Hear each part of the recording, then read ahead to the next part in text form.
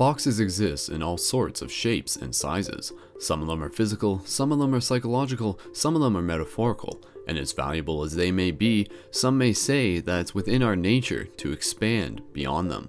This is Skull Babylon, and you're about to listen to episode 89 of Paradigm Shift Radio. In this episode, we discuss why and how to think outside the box. This was another co created community group discussion, and throughout the episode, we had numerous people join us to practice sharing their thoughts.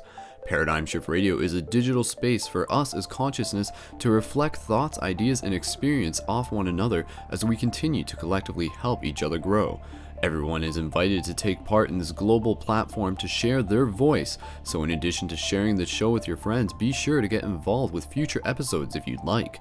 We encourage you to continue the paradigm shifty conversation where you are and give some thought towards helping grow a physical paradigm shift community for your location.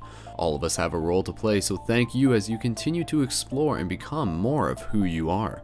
Join us again for future episodes, listen to past episodes online through the main website, share it around with your friends, keep it shifty, and enjoy the flow. One love.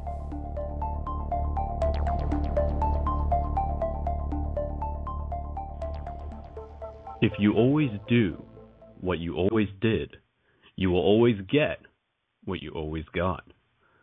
That's a little quote from our uh, good buddy Albert Einstein, who uh, recently celebrated a birthday, which was very coincidentally on the uh, world-renowned Pi Day, March 14th, 3.14. And this is your other good buddy, Skull Babylon, Rebirth from Within, aka Brendan Wolfshield Culleton, joining you once again for another exciting, mind expanding, conscious conversation episode of Paradigm Shift Radio. So, of course, shout out to everybody who's already with us, tuned in live tonight. And if I can get another 1111 from somebody in the live chat just to confirm that things are sounding A OK, we are going to be rolling along with this episode and talking all about how and why to think outside the box. So it's a very interesting topic of discussion, and this, of course, is going to be a regular group discussion, meaning that we want to hear from you. We want you guys to call into the show tonight. We want you to be able to be a part of this conscious conversation. And one of the simple ways that you can call into the show is either through a regular phone, and you can do that through the guest call in number, which is listed in the Blog Talk link, which you are listening to at 347 539 5493. Or you can call in through Skype, which is super easy, and you don't even need Skype credit to do that. Just click the Skype icon, which is also near the top of the link in the Blog Talk Radio link, and just launch Skype, click OK a couple times, and it will dial you into the into the queue, and I'll be able to see you there, and we'll be able to bring you on. So got got some 1111s in the live chat, so thank you guys so much. And uh, we've currently got 30 users as it is in the live chat. And uh, again, just reminding you guys to please share this show. This show, part of the reason why we do it weekly is because I want this show to be a tool for all of us to use as something to be able to share, as a direct invitation that we can share with other people to get them involved, to get them aware of not only this radio show, but also the amazing conscious community that is happening here through the Paradigm Shift Project. And just bringing you guys up to speed, I got a little bit of community news and, of course, just introducing people to the Paradigm Shift Project, those of you who are not familiar with it.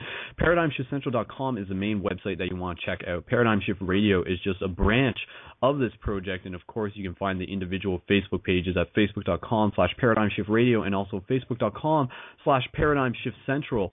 And the whole idea of this project is that is creating digital and physical space for open-minded discussion and uh, also meditation, which more so happens in the physical space, but we will be doing that within the digital space here tonight. And the whole idea behind this is that all across the world right now, there are emerging paradigm shift communities. And these paradigm shift communities, you know, they're not like literally a village where people are having to build houses and things like that. They are a community in the sense that somebody there, the admin of a local community, is going out of their way to set up and organize regular events to host these open minded discussion and meditation circles. And this is happening all across the world. There's more than 50 paradigm shift communities, and that number is continuing to rise. And these conscious conversation circles are a physical format of what is happening here tonight. So tonight is a digital format of a paradigm shift meeting. And again, it's all about practice. This is really all about practice. You know, we're not trying to really say like, "Hey, I've got it all figured out," but rather we're saying like, you know, here's here's a couple pieces of the puzzle that I want to bring to the table, which is uh, definitely going to be very interesting to see what comes to the surface tonight in, t- in theme with the whole topic of thinking outside the box. Because again, this is all about encouraging you to think for yourself. You know, this isn't about telling you what to think. It's about encouraging you to think for yourself, which is in itself a practice. It is something that not a lot of people, or not, you know, some people they they have trouble doing that and and maybe we'll talk about that as to why some people have difficulty thinking outside of certain boxes. So of course, like I mentioned, my name is Brendan, and you can personally add me at facebook.com/slash skullbabylon, and you can check me out on YouTube at youtube.com/slash skullbabylon as well. And there's lots of videos there. And just to bring you guys up on some of the recent community news, yes, we are still within the full moon phase as it is right now. You know, I always count the full moon as being a couple days, and uh, well, yesterday, March 15, 2014 was the was another global meditation event that we had, and of course, shout out to everybody who may be tuning into this episode following their involvement with the global meditation. And that was a really, really awesome event, as per usual. Show to Chad Foreman, and you can find the links for the recording of that through this Blog Talk Radio profile, and also through my YouTube, and also through ParadigmShiftCentral.com, where you can find all sorts of other conscious media. So it's a full moon things are just rocking. We're riding those waves. I'm personally really excited. I had an awesome day. And uh, just in terms of other community news, I want to be able to share with you guys some of the most recent paradigm shift communities that are emerging. So again, the fact that some of these people are doing this, like I would, I would, I honestly think that every person who's listening to the show is a person who can potentially help create a paradigm shift community where they are. So, I mean, just to give you guys a sense of numbers, uh, sometimes, you know, and again, this is why I encourage us to share it, just to give you guys an idea of where we stand, what our collective, our collective success is, is proving out to be. And sometimes Paradigm Shift Radio has maybe around 200 to 300 live listeners, and then afterwards we have maybe around like between 500 and 1,000 people who listen to the show afterwards. So, I mean, if you're ballparking that, that's around 13 1,300 people, and you figure 1,300 people individually in different locations all across the world, like that theoretically could equal 1,300 paradigm shift communities, which in itself is all about just lifting the consciousness, raising the vibration, if you want to use that term, just elevating consciousness, bringing these topics to the forefront of our conversation circles, and just bringing new ideas into this reality for us to be able to talk about, experience, and share together. So, some of the most recent paradigm shift communities that I want to be able to give a shout shout out to is one of the ones that got set up last week is Paradigm Shift Kalamazoo, and this is actually in Michigan. And a shout out to Melissa, who is the admin for that. So I'm going to post a link for that in the live chat, and of course, going to be including that in the show notes. And the show notes are always included in the YouTube versions, not in the blog talk. So if you hear something and I say it's in the show notes, make sure you check the YouTube version of an episode, which is usually posted up within a day later. So shout out to Melissa. She's uh yeah, she's doing awesome. I know she's got some shift buttons there, and she handed out some shift buttons, and uh, it was really cool to see somebody posting on the on Paradigm Shift radio page saying like, "Hey, somebody at school gave me a shift button, and now I'm checking this out, and I think it's really cool." And I'm just like, "Yes, they're working."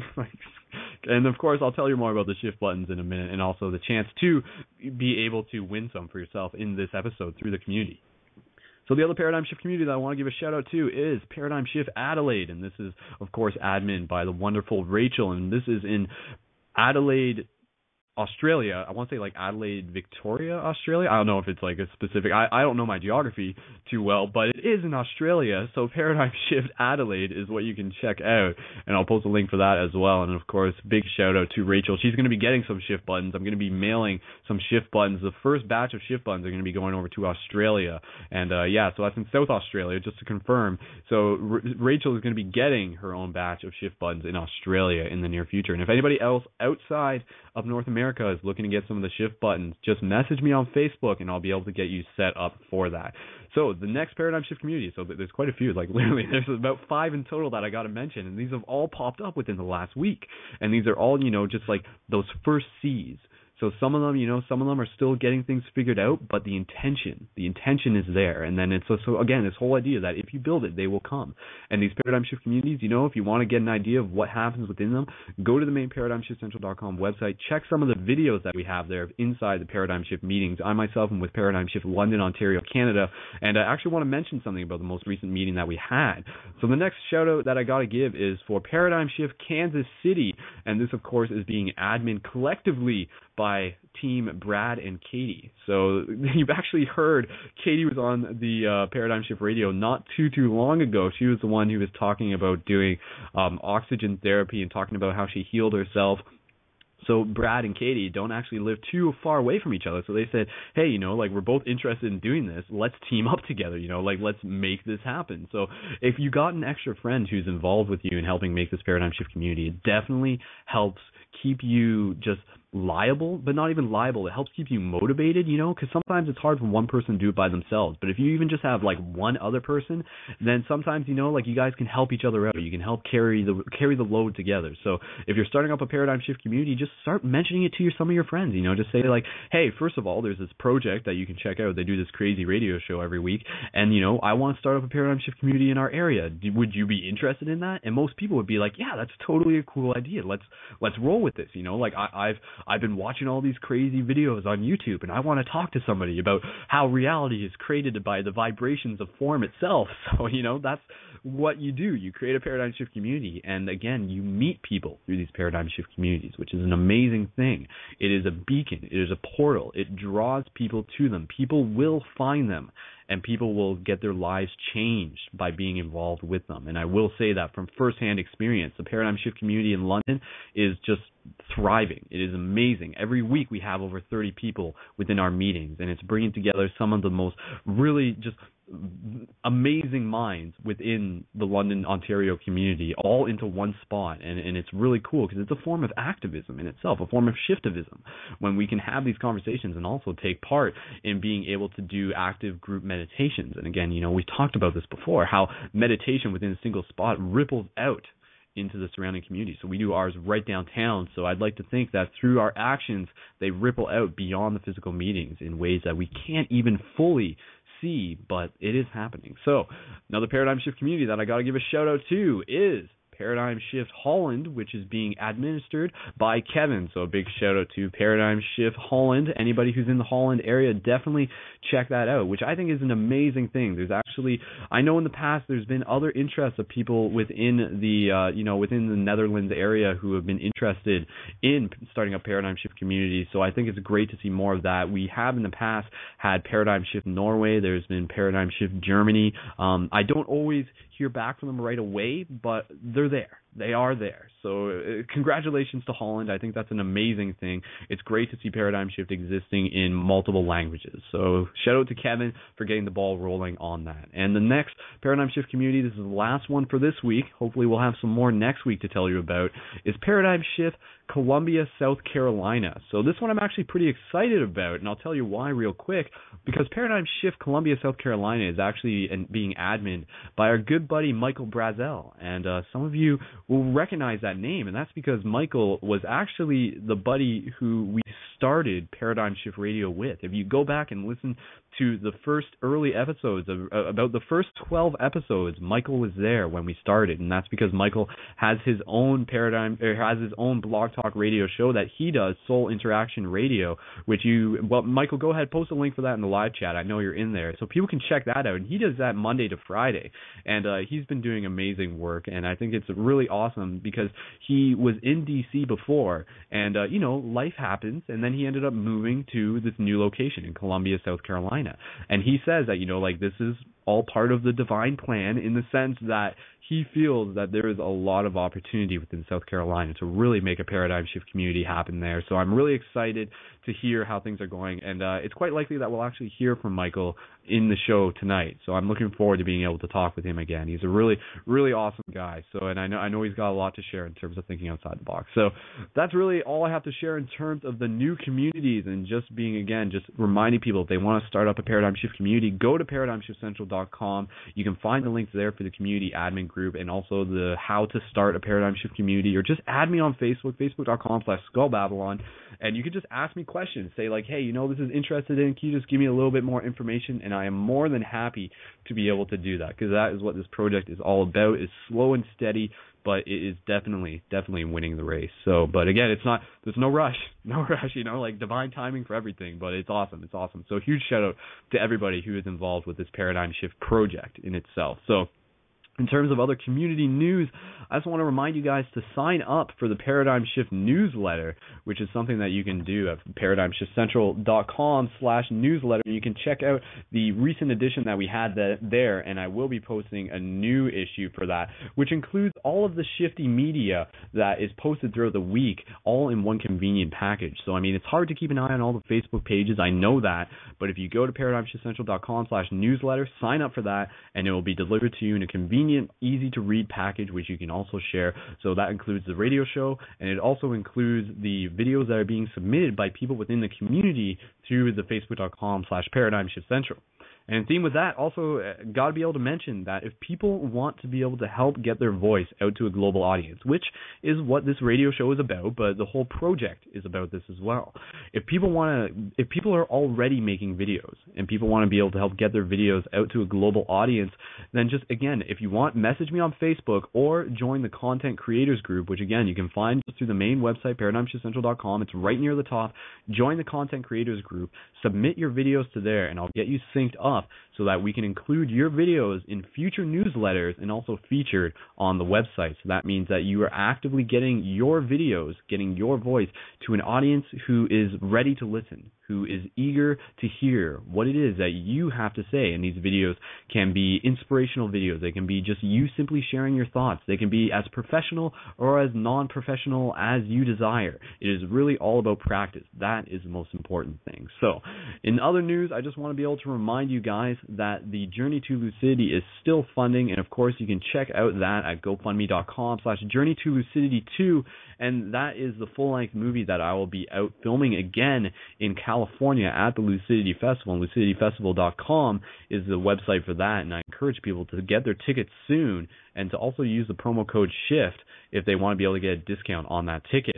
And the Journey to Lucidity 2 is going to be a full length movie that includes topics of lucid dreaming, metaphysics, infinity, and beyond, and it's all about elevating consciousness. And those of you who hadn't seen the first movie, you can find it again through the main website, but the sequel itself is going to be just an improvement on the first. I'm I'm going there with a, a clear idea of what it is as to how things are going to be able to just envision and come to fruition. I'm really excited about that, and I'm leaving for California on April 7th. And this is pretty cool. I'm intending to actually be doing a live broadcast from the Lucidity Festival. So a special edition of Paradigm Shift Radio broadcasted live from the Lucidity Festival. So I think that's actually going to be really cool if we can get that figured out. And of course, if you contribute to the GoFundMe, that will actually sync you up with an early access to the movie before its official release. The way how I'm doing this through the GoFundMe, just to give you guys an idea, because the whole idea of doing this project is that I want to be able to support myself as an artist to be able to continue to make more stuff that we can share for free.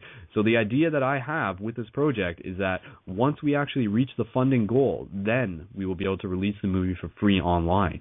So until then, we're going to be continuing to raise funds and the funding is up indefinitely and we are currently at about about 25% in terms of the funding. So you can either just donate $11 to get early access to the movie, you can get a DVD special edition copy of the first movie, or you can actually get like other you you can order shift buttons through there. You can get other perks and all sorts of awesome stuff. But yeah, again, GoFundMe.com slash City. Two, consciousness shifting stuff, awesome stuff. And again, just mentioning on the shift buttons, just reminding you guys that the shift buttons are available to order through the main website at paradigmshiftcentral.com slash buttons. And these shift buttons are tools to help assist in the awakening of consciousness. They all have symbolic symbolism on them that are meant to evoke conversation. So the whole idea is that you wear a button with the eye of Ra or the flower of life or the yin yang on your shoulder on your backpack, you run into somebody at a bus stop or on the bus or at your school and they ask you, "Hey, what's with the button?" then that sparks up a conversation and you can say like, "Oh, well, you know, you can actually have this button. Check out the website, listen to the radio show. It's all about some really interesting, mind-expanding, thought-provoking stuff." So, of course, if you can if you want order those through the main website, use the promo code PSR or if you want to get some free buttons, you can enter into the raffle draw that we'll be doing once again tonight at facebook.com slash paradigm shift radio. So simply send a message Listen carefully. This is how you enter into the draw for the free shift buttons tonight. But don't do this if you've already entered before. We only need one entry per person. Send a message to facebook.com slash paradigm shift radio and just tell us a little bit about what you think of the show, what you're up to even, and uh, yeah, just let us know that you want to be entered into the draw, and we'll do that.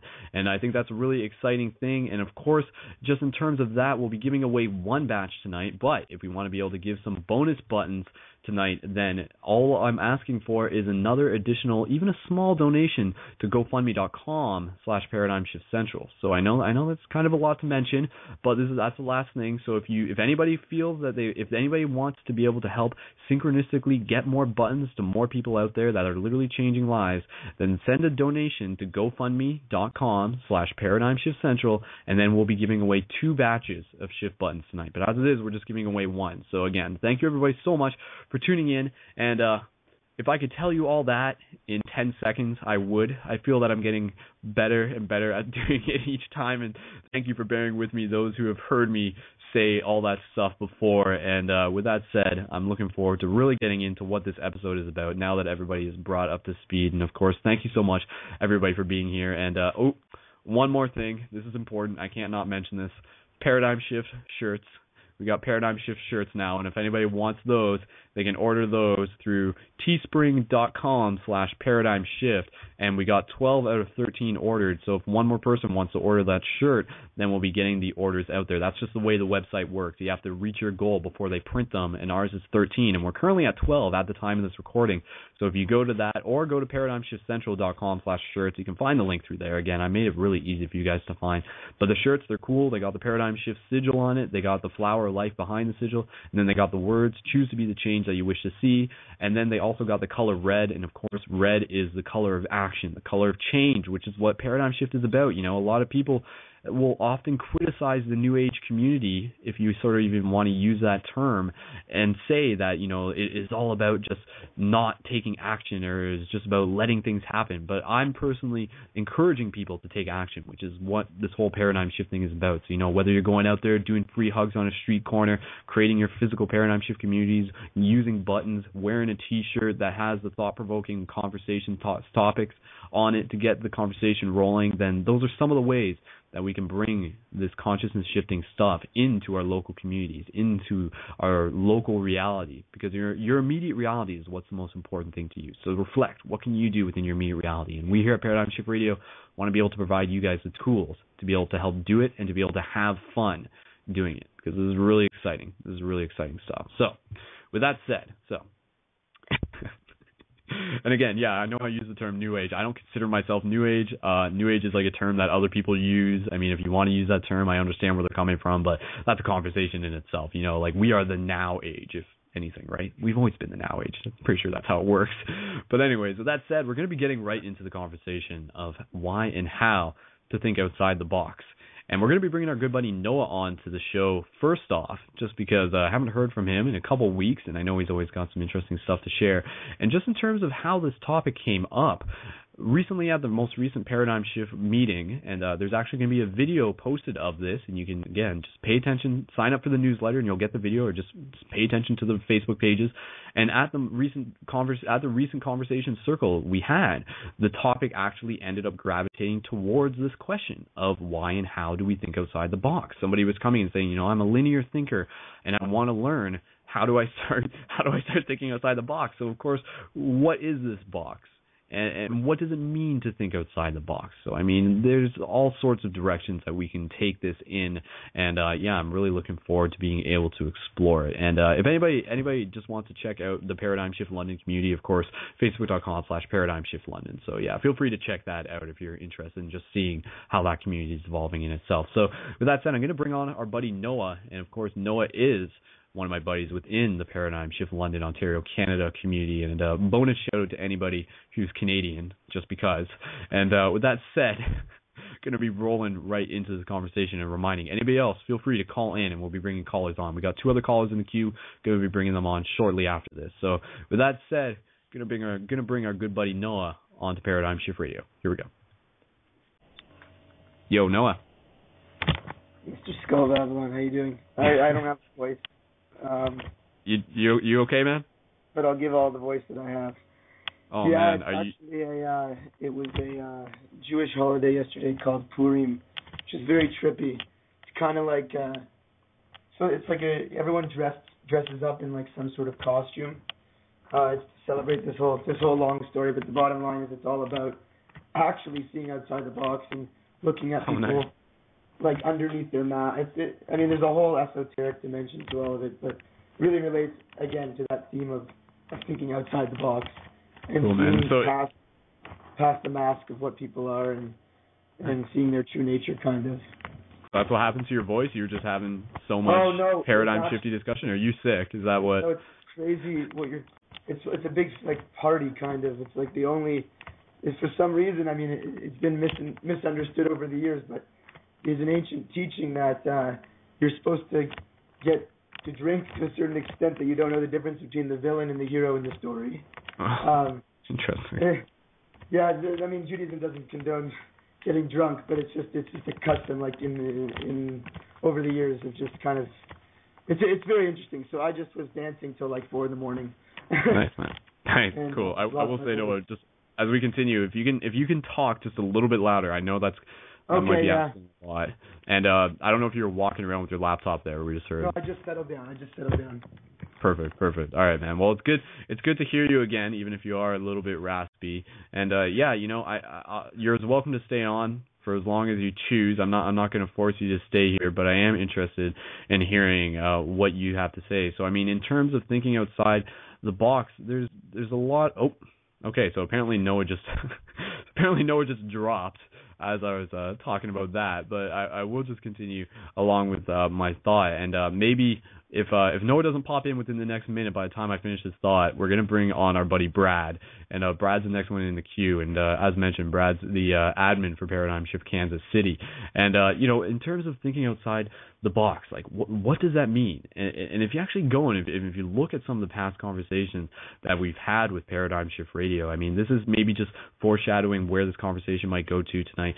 In terms of thinking outside the box, the things that I'm personally interested in, even the idea of multidimensional reality. What what what does that mean? Understanding that we are multidimensional beings by nature. Things like cymatics. You know how how how is how is this like tying into this idea that form is like you know and tying this into sacred geometry and being able to see these patterns all throughout reality. And then of course gets right into like lucid dreaming and the whole idea that like all these topics they sort of branch from one thing into the next. And then you can get into this idea of like quantum healing if you even want to use that you know? Like a lot of these topics are topics that mainstream boxes if you want to use that term have trouble talking about because it, it is it's outside their box you know like oftentimes if you hear somebody will say like even just oh well i'm you know i'm a reiki master. And then you know somebody will will be like oh i'm sorry to hear that. I'm sorry to hear that you are crazy enough to believe that something like reiki is actually working. But who is that person to say whether or not reiki is real? Just because they say that it's not real doesn't mean that it's not real. It's just that from within their box it doesn't fit within their current paradigm in some way or another. So it's really interesting. And of course, you know, this, again, this, this really sets up the platform to go anywhere. Whether we're going to talk about UFOs tonight, whether we're going to talk about Sasquatch, whether we're going to talk about being psychic with your pets, which is something I always allude to, and somehow we may or may not always get to it. You know, any of these things are, are things that I'm personally interested in talking about tonight. And uh, even I was listening to the radio today, even talking about the missing Malaysia airline. Uh, just putting it out there, but honestly, like, who's to say it didn't disappear into some sort of like void-like portal similar to the Bermuda Triangle? Because at this point, that idea is as valid as anything else on the table, despite the fact that it's outside the box of our current paradigm of what we would expect the possibilities to be. And I, don't know, maybe maybe that's what happened. Maybe aliens did something crazy here just so that we can say like, wow, you know, like our box does not explain what happened here. And then it gets into this whole topic of maybe even tying this in with ideas like the Philadelphia experiment and how that goes hand in hand. Maybe even talking about this whole idea of the wing makers. I know that's something that I talked about in past episodes. This idea of like a future society and and uh, Al Bielek and he traveled through time and interacted with them and came back and tied up his story. But again, just putting some ideas out there. Whether or not we're going to talk about all of them, we shall see. So Noah did not um, come back for whatever reason, but so it is.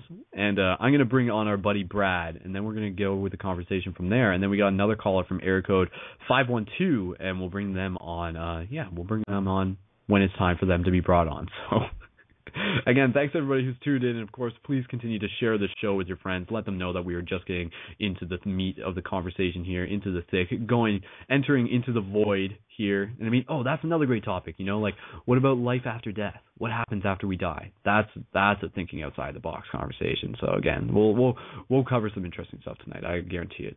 So with that said, we're gonna bring on Brad, and again, this is uh, Brad, the admin of Paradigm Shift, Kansas City. So Brad, if you're ready Gonna bring you on to the show. Here we go.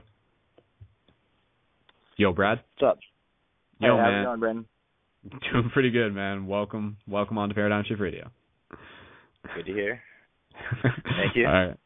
Now I know uh, you you uh, you said you were putting together some notes related to this topic. Is that true? That is correct. All right. Totally so, true. I mean, I'm just uh, passing over the the talking stick to you, man. Just in terms of thinking outside the box, why and how. What is it that you have to share with us tonight? All right. Uh, thank you for having me on the show. Um, I wrote down a couple of things, and it kept on expanding, and I imagine it'll continue to expand and contract upon itself, just like everything else in the universe continues to keep doing. But uh, I'm really here to talk about thinking outside of the box or inside of the box, however you really want to look at it. And I feel this is an incredibly important topic. Um, our society as a whole is meant to think inside of the box at all times, and it's become frowned upon for most society to go outside of the box and inside the outside, outside the inside. When you go outside of the box, you're considered by many to no longer to be a part of society itself, and this includes staying inside of the imaginary lines and cities that have been created for people to stay inside of. And these are all just ideas and labels for different cities and imaginary lines. And I mean, those who live off of the grid, for instance, can be looked at as insane for not wanting to be a part of society itself or the way that we've created and put society forth for people to just kind of hop right in and uh have their dream of a white picket fence and a family with kids and getting married um that's how people are taught through uh mm-hmm. indoctrination of just the school system itself um my father has a good friend in college who he always used to say went insane. And when I would ask how he went insane, I was told that it was because he decided to stop being a part of society and lived in the mountains instead. um, when he first told me the story, I thought, wow, that's kind of crazy. And then the next time I heard him tell the story, um, I at after that point in time, um, I had lived in a tent in Northern California for six weeks, not long before that, and my experience living off the grid in that time period, I was able to learn and appreciate the 180 difference in lifestyle.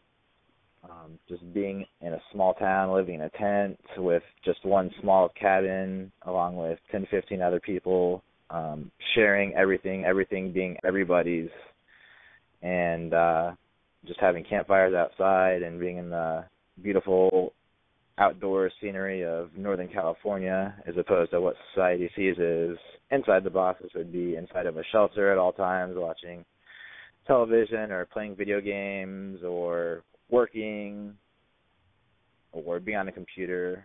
Um, the two are 180 from each other, and both ways of living have advantages and disadvantages. And I believe at least in my opinion, neither of the two should be frowned upon because they're both beautiful in their own ways. And we're taught truth comes from authority, intelligence is the ability to remember and repeat, accurate memory and repetition are rewarded, noncompliance mm-hmm. is punished, as well as conforming intellectually and socially. Um, and these things are some of the things we're taught in school, which become social norms as we become adults um, everything's just an idea, and almost everything you believe is somebody else's idea. and language is an idea itself. The meaning of all words are different for everybody due to their experiences and how they have gone throughout their life.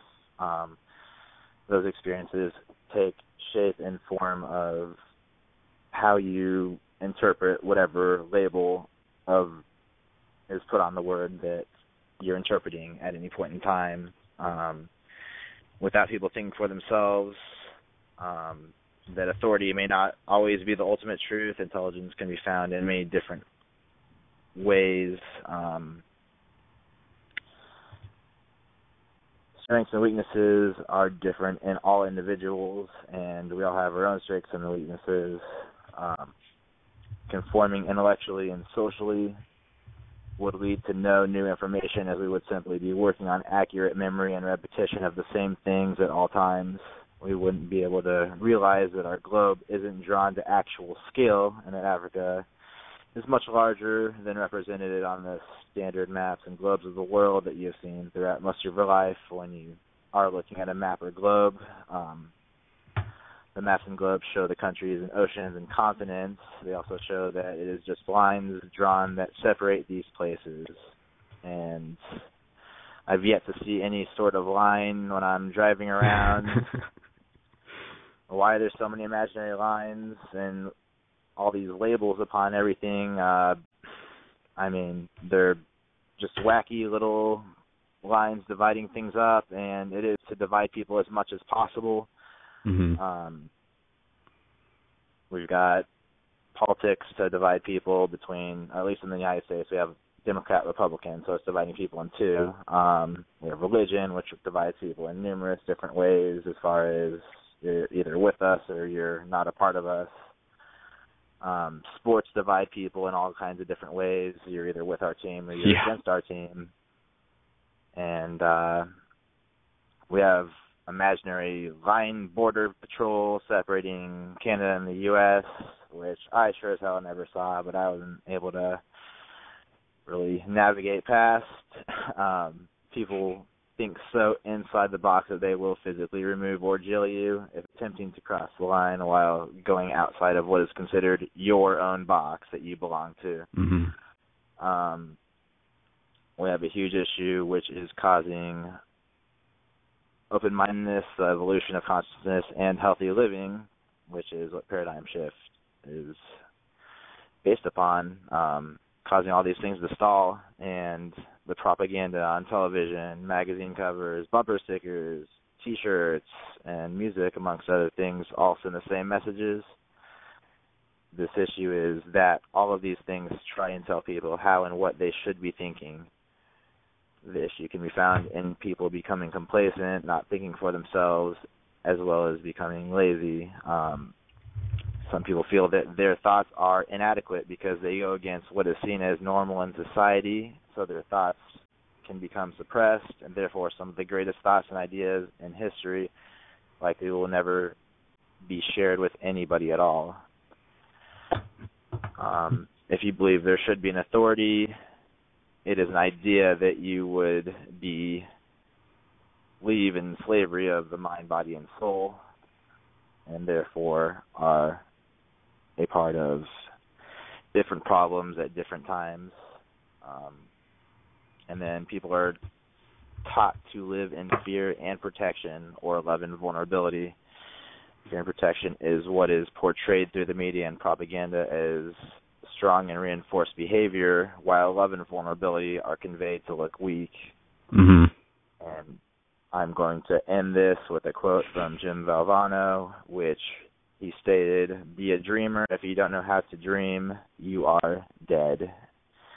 Um, and then death it, itself, you said you wanted to discuss death, and I just wrote death down. Um, I believe, at least in my own opinion, that we come, we don't come into the world, we came out of this world. And uh, when we do pass on, I mean, the idea of you either see all black or all white or you go to heaven um you'd still be seeing something. There would be some type of consciousness. You can't just necessarily see black forever. Um that would be the concept of the color black uh, white would be the concept of the color white. So you just be staring at that color for eternity, which I mean, if you're doing that, then you would recognize and have the consciousness to see that you're actually indeed looking at a color of some sort, and therefore it doesn't seem very feasible or possible. I, anything's possible, but um, doesn't seem feasible that that would be something that could happen. Um, I believe ultimately you go back to where and what you were before you were put into your body, which I believe, in my humble opinion, is possibly some type of free flowing energy of some sort, whether we want to call it love or energy. Um, I mean, a baby is ultimately like a newborn baby would be a real sign of love in itself. What a pure sign of love is just like a newborn baby. Um, what other more simple way could you see something of the sort?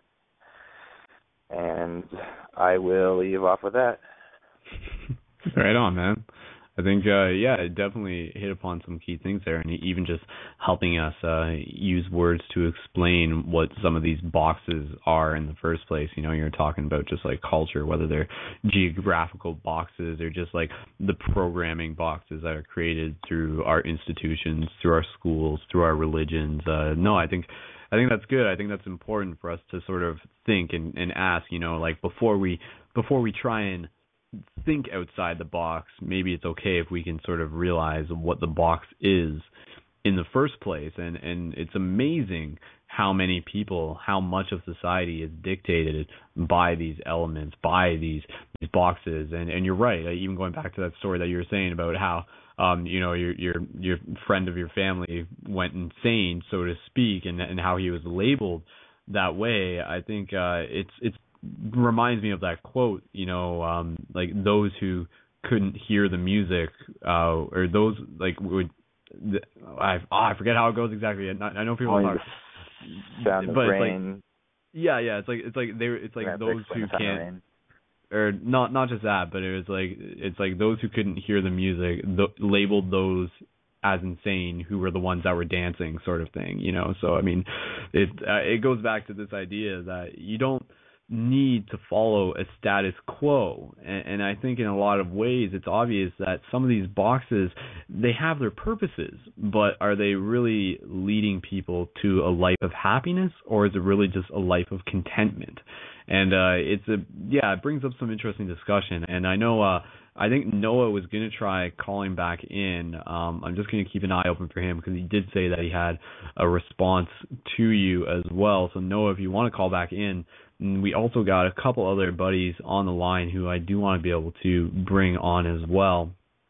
And uh yeah, you know, like even just thinking like how much our our world is programmed uh just by our language and the language that we use in itself. And that's where you get into the things like phonetics and stuff. And I mean even, you know, a, lot of people already know this and it's just one of the ones off the top of my head, but even the word like government literally translates from Latin to like control the mind sort of thing. So I mean that in itself, you know, like government is one giant box in, in a lot of ways. So I mean, I want to be able to explore more of this conversation in terms of how to think outside the box and there's a lot of ideas um that I can get into and and one of the ones uh, I'll just mention this now and uh I'll just sort of set this up for uh if Noah's calling in in the next minute but one of the uh one of the most important things that was ever told to me was this idea that and I'm sure I've said this on the radio show in, in the past, but it's this idea of believe nothing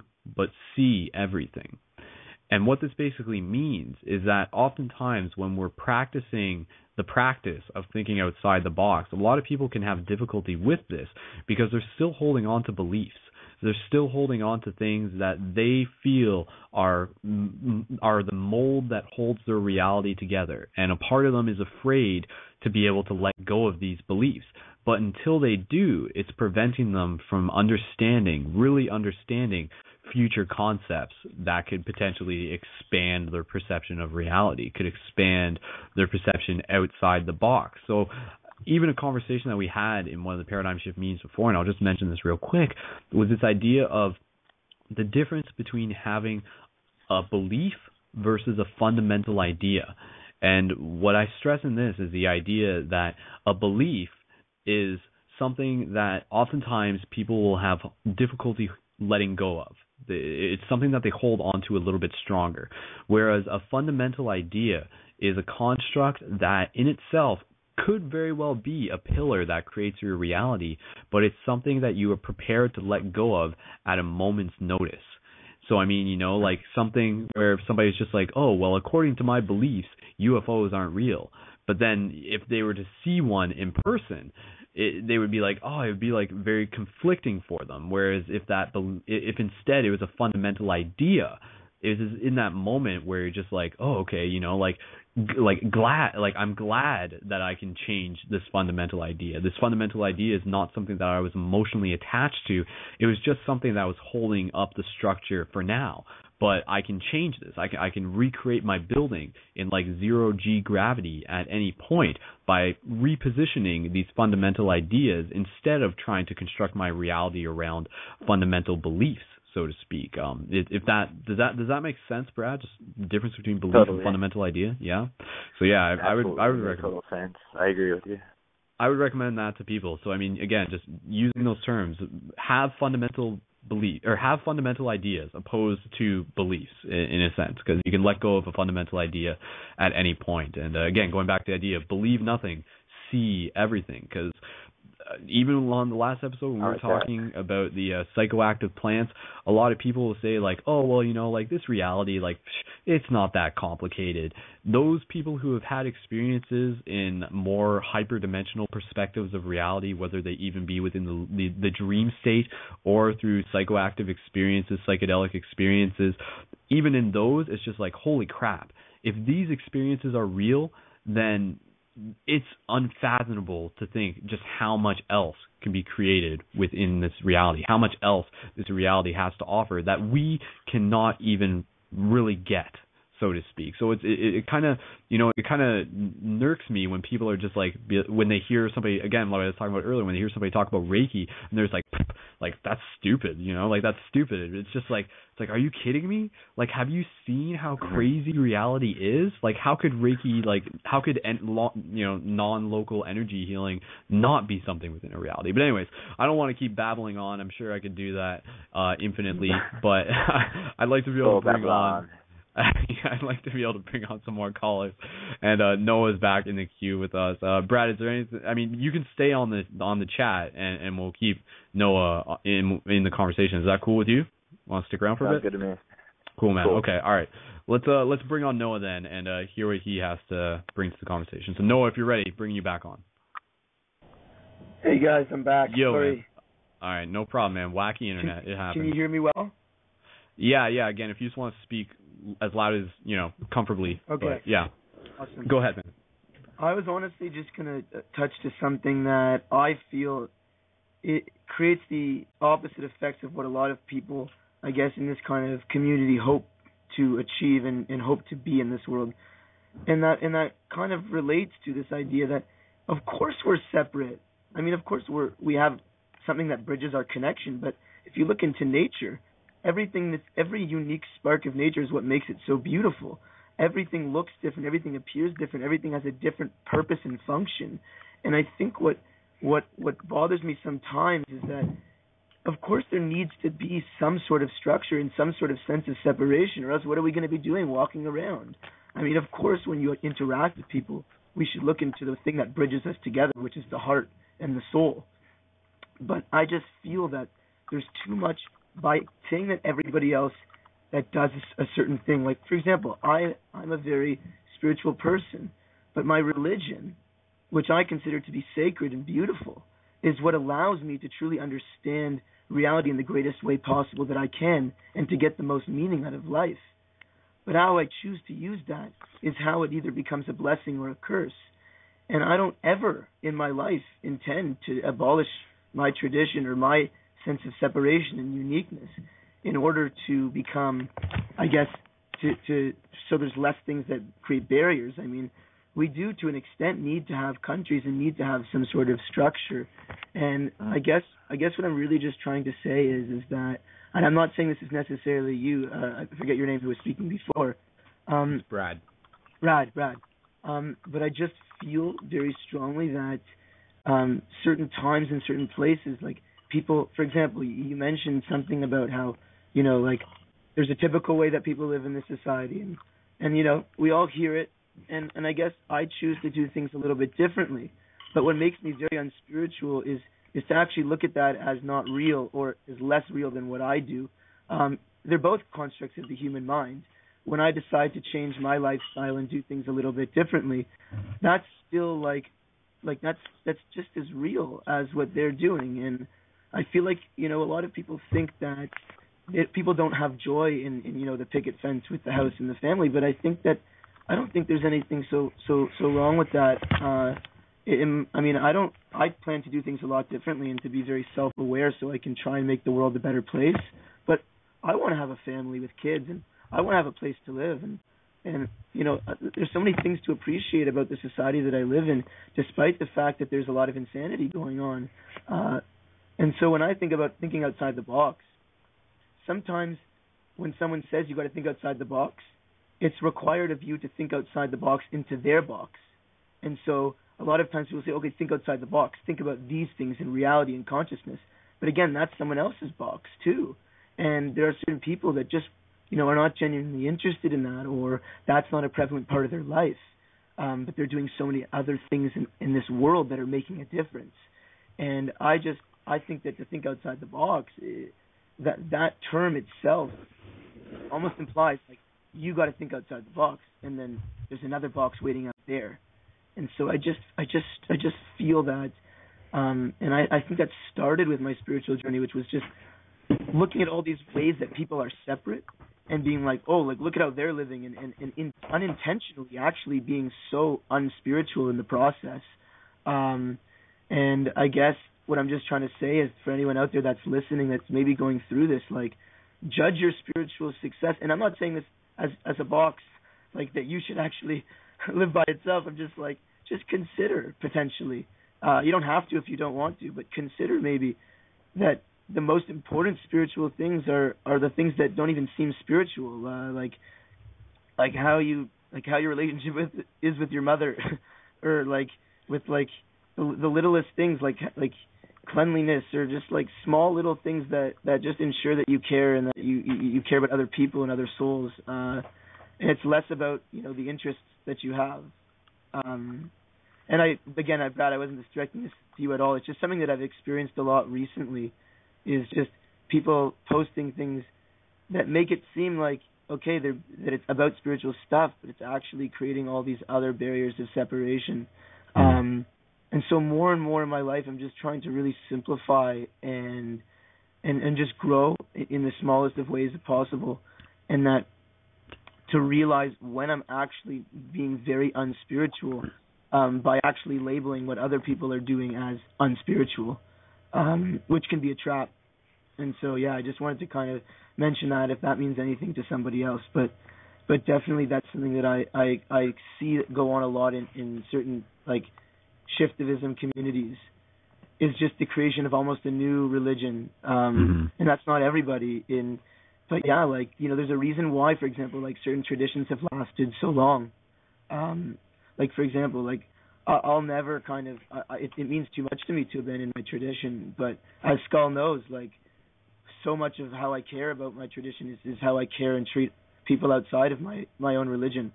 Um which is not necessarily practiced by all religious people but you know, so I guess there's never going to be a point in nature where everything just flows and melts into just one thing.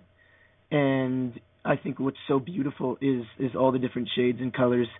Um, and this world's never going to reach a place of peace or whatever that we're looking for until we really honor, um, I guess, what other people are doing that's seemingly unspiritual to certain people. Um, there's a lot of heart and soul in our society. People are still looking for love and uh, sometimes it's misdirected in the sense that uh, we're chasing around looking uh, in places that maybe people, some people find it, maybe they don't there, but everybody knows. We know. We know at the end of the day that the true the things that are going to truly bring us joy, the things that are truly going to bring us, um, I guess, uh, kindness and, and compassion, all these things is going to come just what we're beaming out from our heart. And for someone, it might be, you know, uh, like they have nothing to do with organized spirituality at all, but they just like are their whole life is just dedicated to serving others in some way, um, which I just think is amazing. I've just seen a lot of people that, you know, like I just try not to to even call myself a spiritual person, so to speak, and just like interact with people, and and and that's kind of how I use my spirituality in a way. Sorry about Yeah. rambling. I'm done. No, that was good. I I I think uh yeah, definitely like the idea of um again just not trying to not trying to like prescribe to specific labels. Uh you're right that that does sort of come up. Um and it's it's weird. I mean, it, it's it's weird how we even see that within the conscious community. How you know, like some people, or, or you know, a good example would be how there's like this ongoing sort of uh just feud between people who are meat eaters and people who aren't meat eaters and I always see posts about it and it's like a lot of like disdain going back and forth towards one another. And I mean even just reading what uh what what um Paul was saying in the live chat he's saying you know like there is there is no right or wrong. There is only what's right for you right now. And i mean obviously uh taking that with a grain of salt because i think there is a you know that's there's a sense of morality that sort of fits into the bigger scheme of things that we don't want to ignore. But i mean i think is it you know is, is it is it within our with it, like is, are, are we should we be allowed to try and like criticize people for the box that they're in? Or can we do it in such a way that is out of love? And, and i think that is where you know like sometimes you have to shake people a little bit but don't do it in the sense that you're trying to be rude about it or you're trying to like you're trying to like make fun of their box um so to speak. And I, and I think Noah you sort of represent that well where even though you're quite traditional with your with your Jewish religion, you are like incredibly open and loving to people of all faith, to people of like all walks of life, which I think you know it's sort of uh the what like what religion would have been or what it could what it should be in some way or another at its core. The simple idea of just like treating others as you would like to be treated sort of thing. So I mean, if that For makes sure. sense, yeah, yeah. And and I I know I know there's still more to talk about, and uh, I'd actually like to be able to set this up to being bring on our buddy Michael Brazell, who I mentioned uh, earlier in the show, and he he is in the queue. And uh, again, Michael Brazell, he was with Paradigm Shift Radio way back in the day, so a huge shout out to him. And uh, he's the newest admin of Paradigm Shift Columbia, South Carolina. So I know he's got a lot to share, and I know he's got a lot of experiences. So I'm really interested to just sort of pass the talking stick on to him. So Noah, are you gonna are you gonna stick around for a bit? Yeah, for a little bit, yeah. Yeah. All right. Okay. Because I might I I might just respond really quickly? Brad, go ahead. Yeah, yeah. By all means. Cool. I just like to say that everything is interdependent on everything else, and uh, literally everything. And you're saying that there isn't one, but everything literally is interdependent on everything else in the world. If we were to wipe out the bees, everything in our ecosystem, as we know it, would literally just fall apart. Uh, what came first, the chicken or the egg? They're both the same organism. It's we're all just literally one, and uh, we don't necessarily need structure or division. That is just your opinion. And um, I'm Jewish all the way through my bloodline. I have through it all myself, and I've visited Israel, and I know that there is a huge separation between the people there and the Palestinians. And you can believe that I might not know what I'm talking about, but I have lived there, and for 10 days is obviously not as long as you live there but there's definitely a way that people are raised into thinking that these people are going to just I don't know if it's necessarily in their school systems or their parents teach them from a young age, but um people are taught basically that these people are going to hate you and if you're believing that these people are going to hate you, then you will you're almost trained or Mhm. taught or programmed to think the same way back, and that's how a lot of people think there. It's basically uh these people hate me, so I probably shouldn't like them very much, and it's Yeah. all just a matter of them labeling somebody Palestinian and somebody being labeled Jewish when in reality we're all a part of humanity itself. And in my experience there is no right or wrong in any of it. Um there's some right and some wrong in everything and some everything is a little bit more right or a little bit more wrong. Um it's just all a matter of perception. I'm done. Mhm. Yeah, and um, uh, like I think uh, one thing I was just reminded of the other day is this idea that you know for any parent teaching or educating their child in this day and age, don't educate your children the way your parents educated you because the way they ed- educated you was right for the time. Whereas now we live in a different age. So I mean, it, it makes sense that we have to sort of observe our surroundings and just readjust you know, rethink about the box that we are using to sort of like create as a template to sort of build things upon. Because I mean, that's the idea, you know, like we're talking about this idea of thinking outside the boxes. Like, again, boxes in themselves have a fundamental purpose. A box in itself could be a sense of tradition, which is, you know, what Noah and yourself were even referring to. So, I mean, the boxes aren't the enemy so to speak. But I think it's when we become so dependent or so naive of the realities outside the box is that that's where things get a little bit unhealthy, I would say. So uh, I want to get into some stuff later in the episode in terms of how to think outside the box, and I think Michael will probably have some insight on this. You know, even just talking about physically moving your body and getting the energy moving within your body. Um, one of the things that came up in the meeting was that you know reminding people that we are a conduit for the creative source of the energy itself. So if you're having trouble thinking outside the box, then just practice being creative. Practice even just like shaking your body and like just like shouting or just like singing. Practice writing poetry, poetry that you don't even plan to share with anybody. Practice like playing an instrument that you don't even know how to play and just do things like go out into nature. These are simple things that can help you think outside the box because it takes you out of your regular routine and obviously being around nature is a wonderful way to just see the outside the boxness of everything there, the fractals, the tendrils, the amazing just like feel that you get when you're not literally sitting inside the box of your room. So I mean sometimes thinking outside the box physically means getting out of your box, getting outside of your house and changing your environment and going up into the mountains where some people might call you insane, but if you do it for the right reasons, I'm sure I'm sure it will pay off. So uh yeah, there's other stuff that I want to be able to mention, uh even things like word webs. Word webs are a good thing that people can use. Just the idea that you can link from one topic to another. That's a good practice that you can do. Start with a topic. Start with a talk topic you could say like something like puppies and then from puppies you could talk about like something else. You could talk about like oh wow now i'm putting myself on the spot. But like puppies okay like even the idea of like puppies puppies are basically like four-legged humans in puppy form. And then it's this idea of like well hold on isn't that kind of funny how like puppies in themselves are just kind of like another version of us in a slightly different form. And isn't it interesting how puppies always look at the eyes when they're talking to people too? Somehow they have an innate understanding to look at the eyes. And then it's like well what's the deal with the eyes? Eyes are like you know they always say the portal to the soul. And why do they look like universes? And then suddenly it's just like as above so below. It's like what? How did this get here from puppies? So try that. Try picking a random word for yourself and just linking it in a very branch like way from one topic to another as an exercise.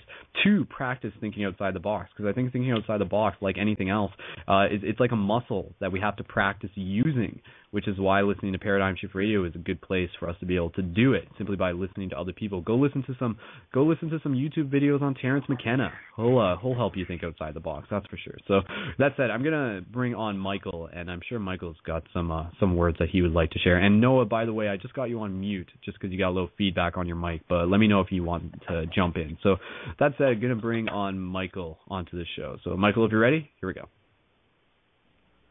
Hello, Michael. Hello. hey. hey, man. good to hear you. I love. It's good to I be love back. The, I love the fact that your mic is like awesome and professional and stuff too. That makes me extra happy. yeah, I've learned from yeah. blog talk experience that you know whatever you can do to help out the uh Oh yeah. the glitchiness.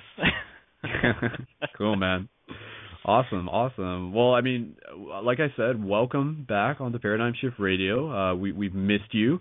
Uh, I will say, and it's wonderful to have you here again. Uh, just passing the talking stick over to you. Uh, thinking outside the box, why and how? What do you have to share with the beautiful people? Well, yeah, it's a really, I think, an important discussion for now because we're seeing a lot of divisiveness. You know, there's lots of talk, you know, on Facebook about identity, and I think we're all trying to claim some type of identity on some level. And from a personal example, you know, my move from DC to South Carolina, um, in making that transition, having relationships and having work situations in, and having my spirituality tested, really brought me to the edges of my box. So as my identity began to shift and change, um, I got to see myself in the process of expanding my own template. Um, Ram Dass says, you know, we go from one level of illusion to another. So it's like we just keep breaking the box a little bit further open. And if anyone's seen my picture, you'll see that I'm a walking out of the box statement. when you uh, tattoo your face with sacred symbols and um, you decide to live amongst the uh, people who are more conditioned to overculture thinking, you tend to be a challenge to that box that they may be in. And I think there are safe ways to engage those edges together without imposing our boxes on each other. I worked for people for the ethical treatment of animals for a very long time. So my job um, was to go out and talk about veganism and animal rights and to challenge that idea that animals don't have, they're not sentient beings, they don't suffer. Um, but what I found is it wasn't necessarily through the aggressive tactics, but through actual dialogue. When I actually got to talk to people about not necessarily our differences, but our similarities, we got to not necessarily shatter our boxes, but we got to have respect for each other's paths. Because I think the word box really is constraining. Um, we talk about spirituality in our life journey, it's more of a path that we're on. And the path itself can be a box. Like yoga is a really good example. You'll have people who only do hatha, they only do ashtanga, they only do kundalini, and that's their that's their religion, and they will not deviate from um, their posture sequences. They don't like to um, mess with the tradition. And then there's people like me who have spiritual ADD, who were I feel put on this earth to challenge all of those constraints.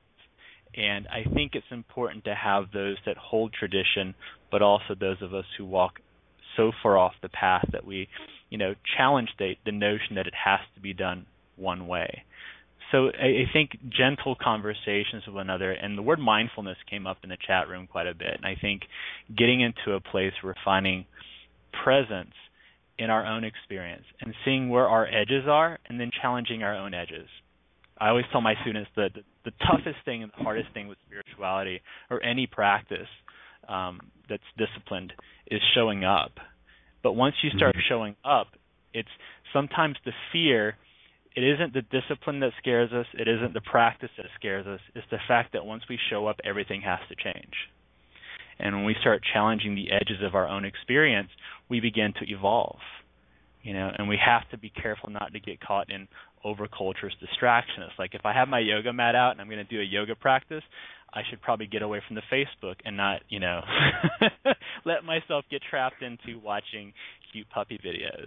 you know, so having a little bit of discipline with where we're challenging ourselves helps us to break free of our edges. Because I think a lot of times we spend too much time worrying about other people's boxes. You know, mm-hmm. First look at your box and then and then allow yourself to be more connected to your own experience. And then you can dialogue with others about the shared experience and not necessarily through a place of challenge but through a place of objectivity. It's like let's take a look at what we both have going on here and we become mm-hmm. teachers versus um warring parties. Mm-hmm. Yeah, I thank thank you. No, that's that's great. And and I, I there's a couple things that came to mind, you know. I, I think you bring up a good point. You know, like the box is is not the enemy, and, and in a very real way, the box can be an ally. And you're right. Like maybe not even using the word box is the best thing to use. I mean, even when you're talking about identity, for me, uh, something that came to mind. I mean, oftentimes people will think about that. You know, they'll think how how does their identity fit within a box but then it's this idea that instead of that box being something that is handed to you, which is so common the, the case with uh, overculture is a term that you use. You know, somebody they give you a box and they say this is your identity, this is your job, this is who you will be, these are your duties, this is what you will become. Whereas I think when you can understand that that box is being given to you in the first place, that this box is nothing more than an opportunity, then you can sort of step outside of it and almost play with it in the same way you would be sculpting, working with clay. So, I mean, again, you know, it's not actually just saying this box is just this one shape. This box is like a metaphor for a complex geometric shape that is who you can choose to make it into, sort of thing. So, I mean, step outside your own box observe your box and then create your box. Create it into something that is magical. Create it into say like who am I? Who do I choose to be? Who is my identity? And I think you're right. Personal identity uh, is is a very very interesting thing that comes up, and, and obviously people will sort of get into this conversation of ego, and that in itself, you know, people will say how like ego isn't necessarily the enemy. Like ego is a part of the structure of the box. It is a part of like a layer of paint within the structure that sort of gives it a little bit more characteristic. But maybe there's a better way to describe that. Um, yeah, no, that was just a, a few things that came to mind, and even right. something uh, just in terms of thinking outside the box. A recent uh, a recent way of explaining things that came to me, and I talked about this in a recent video dream log that I posted. and those of you who are interested, who haven't seen that, of course, just check out my YouTube to find out that.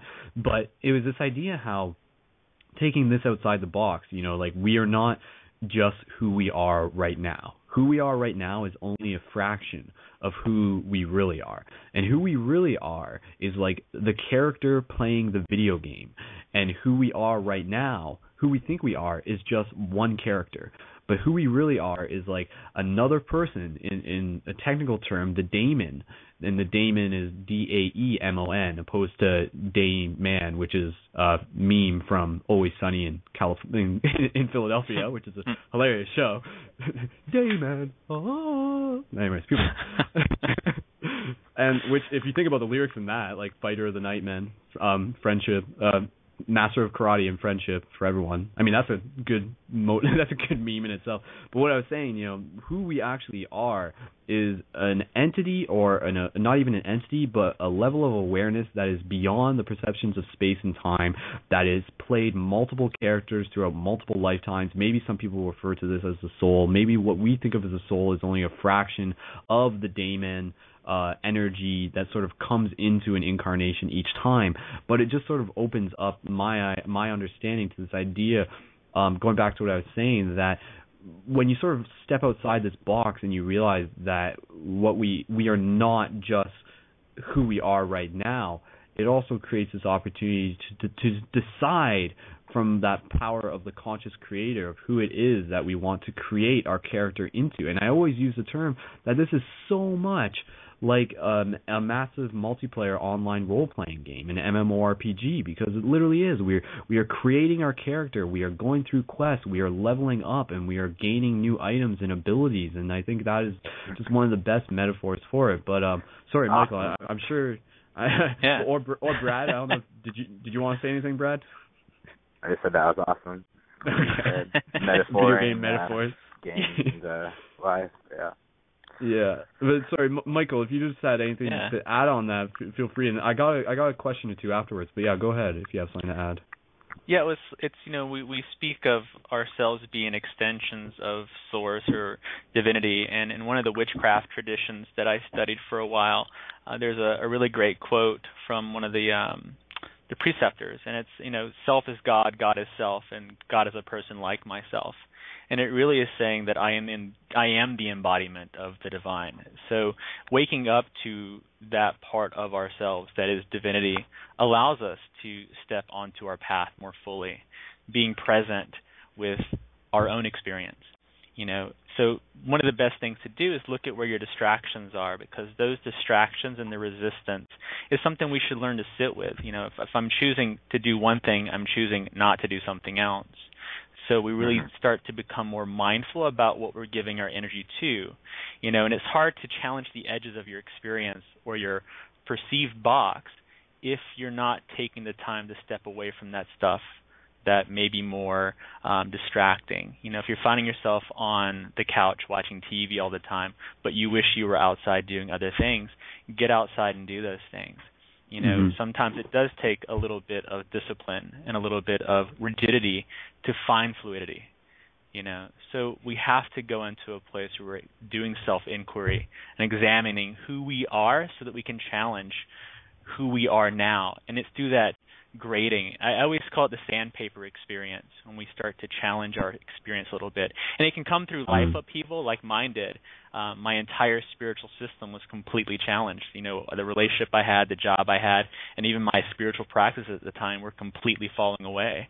And I had to adjust and shift because life became sandpaper and it was shaping me. And I had to take a step back and just let it shape me and trust the process a bit more you know Mhm. but sometimes we can do that within our own experience. We don't have to have massive life transformation to do that. It's not always recommended to to to quit everything or leave everything but we can do that within our own space. If if i've never done yoga let me try it out like you were saying. If i've never done um something let me do that. If i've never gotten on a karaoke stage let me sing a little bit. Yeah. it, you know things that challenge uh, our comfort zone Jillian Michaels has a great phrase, you know, get comfortable with being uncomfortable. and it's those places of being uncomfortable that let us really grow and we evolve and that's part of this this whole thing is what are we evolving into? hmm Yeah, there's uh going back to some notes that I actually took down from the recent Paradigm Shift London open discussion meeting that we had.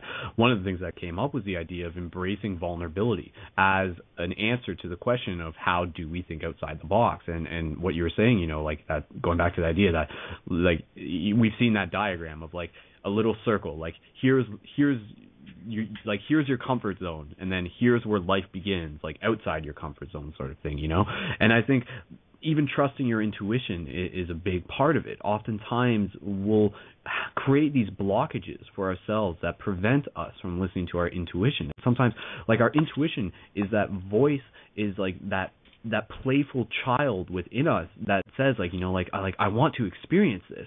And then sometimes we'll have a part of ourselves you know whether you're associating it with maybe our chakras being closed off if that's something that you want to think about from that perspective. But then we're just like no no like uh, you know it's not worth it. It's not worth my time. Like I I I I have a I can anticipate how that's going to happen. Therefore there's no point even doing it. Yet when we do that when we when we embrace that vulnerability it creates this amazing opportunity for us to experience something that is outside of our norm. And uh you know even the idea of just saying like have fun. Having fun is a way to think outside of the box. So michael i'd be Mhm. curious what are what are some other techniques some practical things that you could give people to help them like get into the practice of thinking outside the box and also being outside the box? That's Let me- wonderfully. Yeah. brad go ahead yeah yeah All right. Um, I just like to say that tradition itself is the opposite of progress. So if you're doing something over and over again, just basically because it's what you're comfortable with or it's what you perceive as your norm and you're not going to navigate away from it in any way, shape, or form or look at any other possibilities, then ultimately you're not growing as a person and you're not going to be progressing as a person and you will ultimately be in a loop of tradition which has not altered itself in any way as long as you keep it as something that you want to be a tradition that you're not going to actually take a look at and realize there's more there's infinite knowledge in the universe that can be accessed and looked at and learned and just by focusing on those certain traditions that you're looking at over and over again in the loop um you're just almost taking away the opportunity to give yourself the uh chance to give yourself the universe in its infinite Mhm. capacity and yeah Mm. Yeah, and uh, sorry, I'll, I'll just, I mean, just re- replying to that, Brad, I, I agree in that, you know, literally what you said there just reiterates the Albert Einstein quote that I read at the top of the show, the idea of if you always do what you always did, you'll always get what you always got, uh, sort of thing. Um, and yeah, like I think uh, one one thing I, I was just um, just sort of like passing this uh, over to to Michael. Um, in terms of what being outside the box can do, in the past we've talked about this idea of what is sacred, and I'll break this down for you in a way that I, I've put together over time, but it makes I, I feel it, it really explains it well. And the idea of think about it this way, like our life, like you are a river. That is what you are and over time we put pollution into our river we put blo- we put like garbage and we fill it up with all this junk and as we do that it prevents the flow of water to be able to move through the river so part of what we want to be able to do is to be able to take out the garbage that's in our river to take out the pollution that's in our river. And as we do this state the obvious the water will flow through the river with more ease. Now the water itself is creativity is the source energy, is the creation of the universe itself, is a continuation of the Big Bang, is the entire force of the cosmos coming through you, is sacredness at its purest form. So, just setting this up for what I was saying to Michael, what are some of the things that we can do to think outside the box, to be outside the box?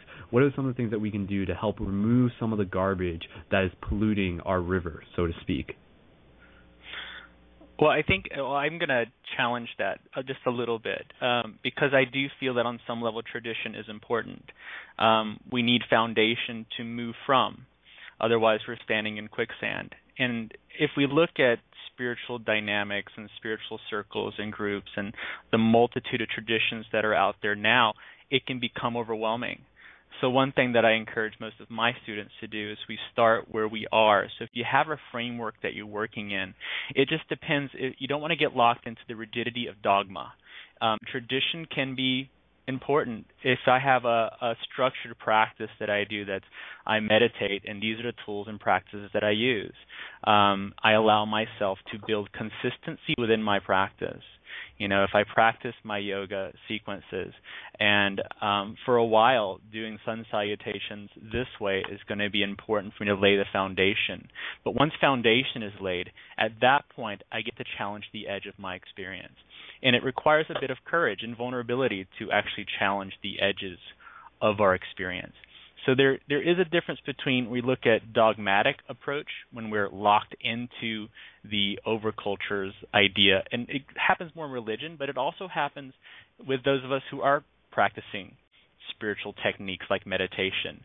If you're showing up and just going through the motions, then it may be time to evolve your tradition.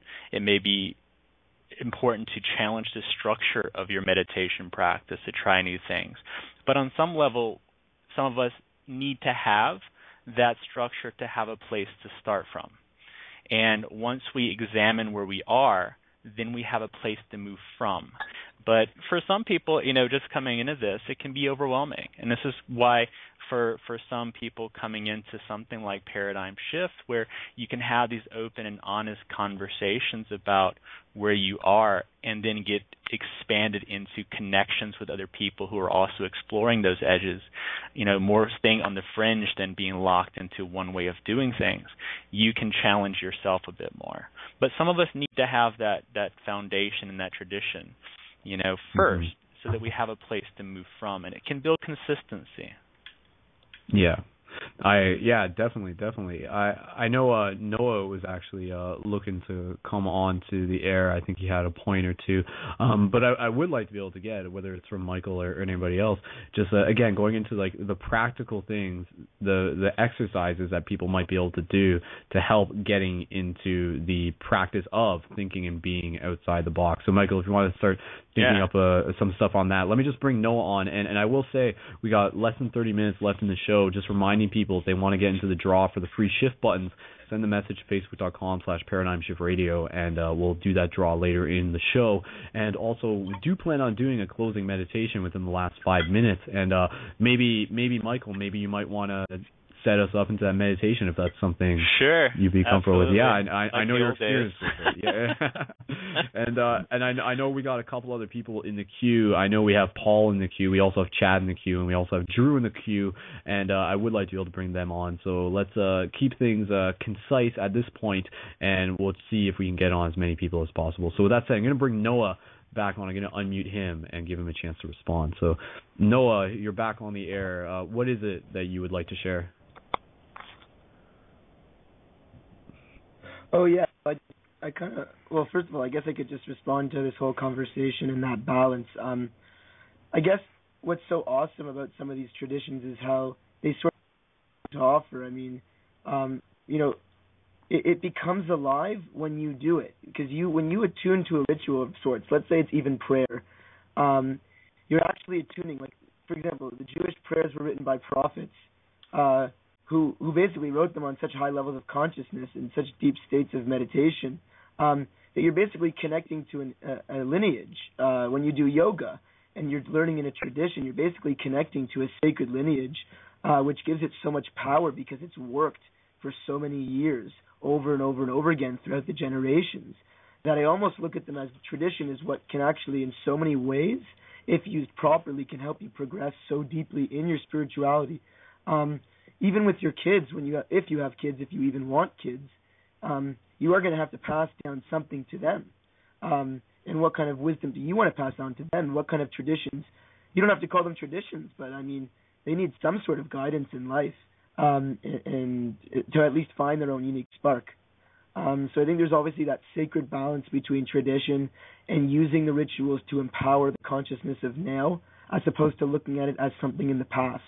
Because every time I do certain rituals, like even the Sabbath for me, it is more alive than anything I could possibly explain to you.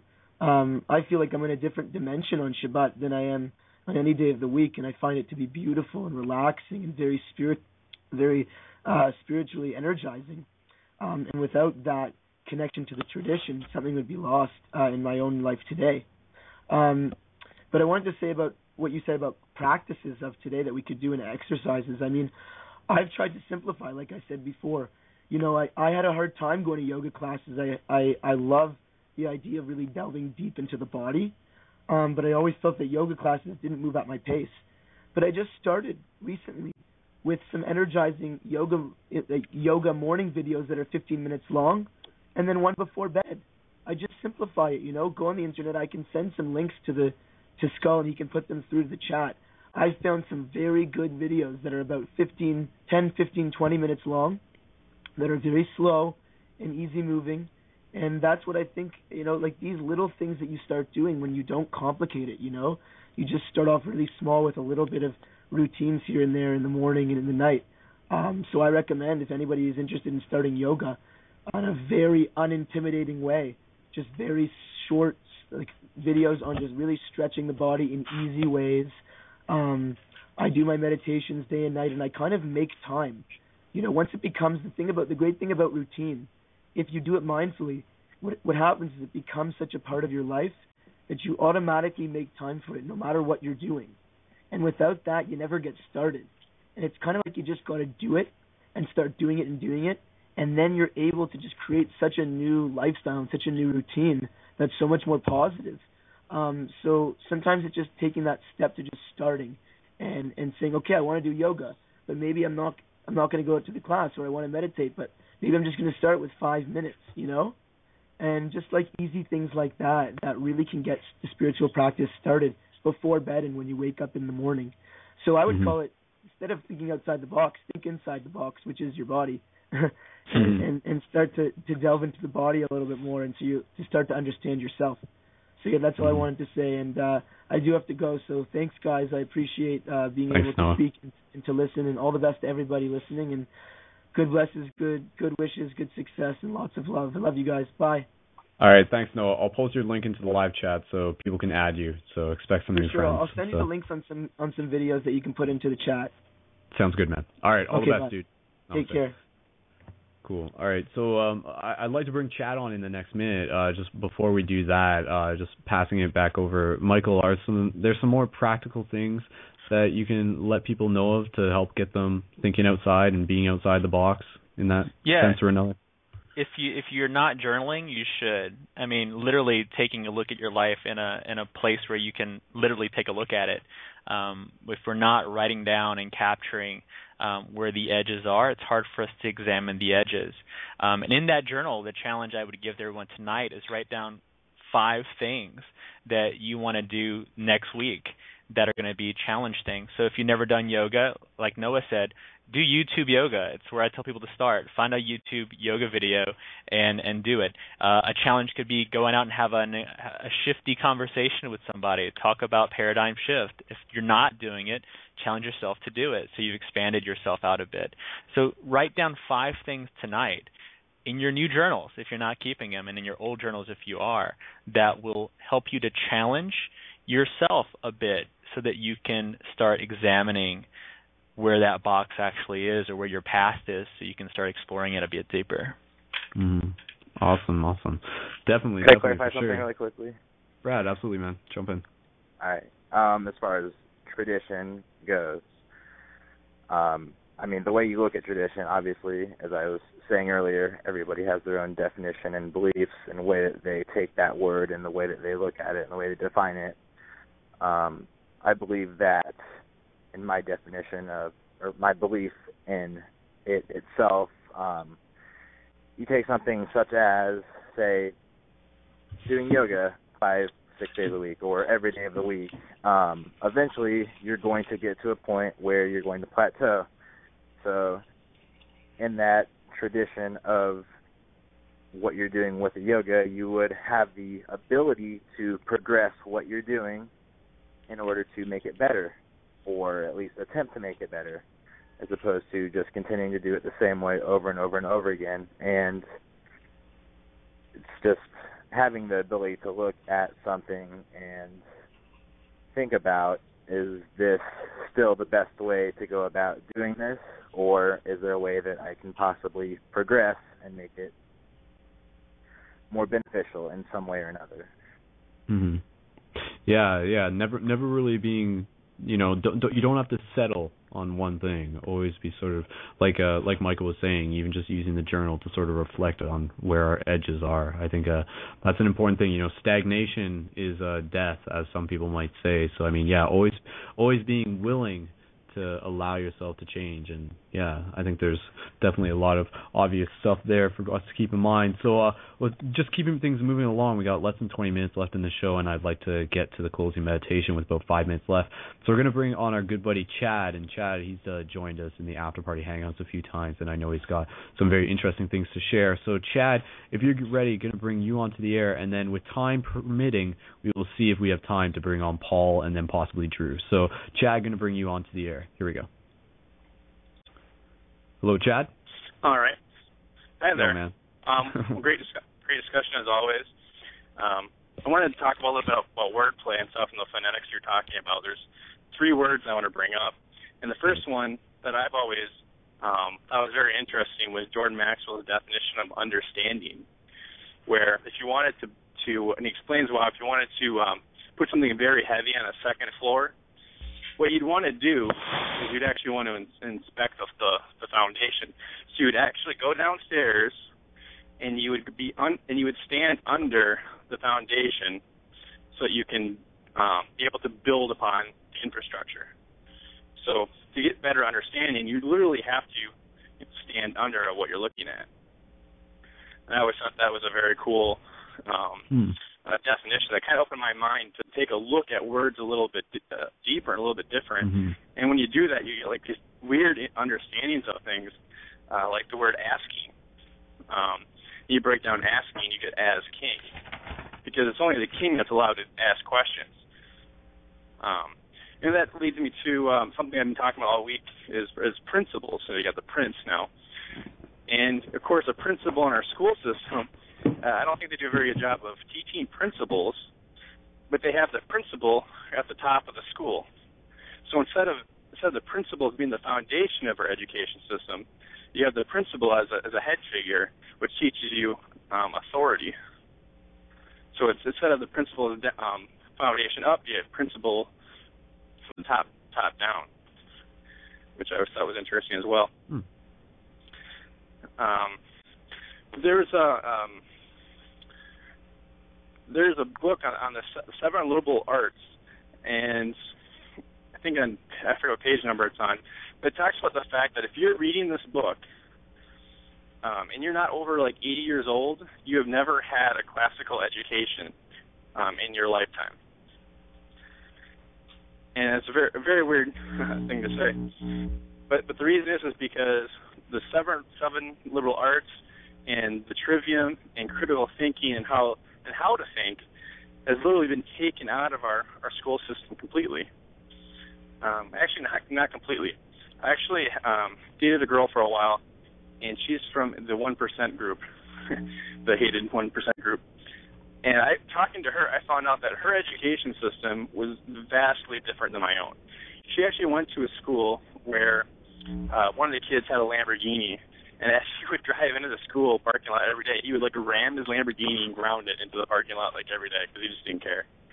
Um, but I found out that they have they have whole classes on on critical thinking, how to how to weed out fallacies from the news. Um, they have all these different extra things that I never got in school. Um, I skipped a lot of school too, so that might have been some of the reason. But um, but intellectual, but like we need to learn how to um, pick out all these fallacies and have this intellectual self-defense. Because if you don't have that intellectual self-defense, if you don't have those principles and the fundamentals down, then you're going to get swayed left or right um, in these different groups, these different directions, and you're going to be lost your entire life. That, and that's something that I've kind of found out.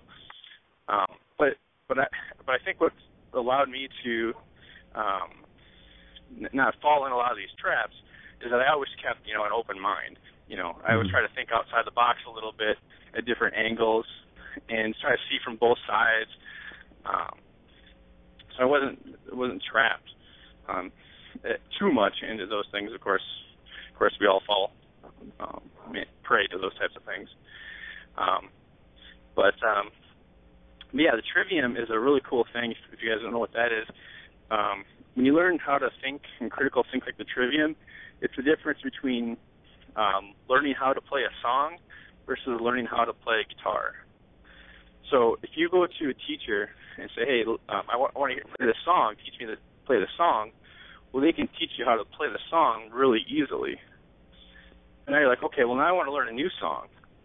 Well, now you have to go back to that teacher again so they can teach you the new song.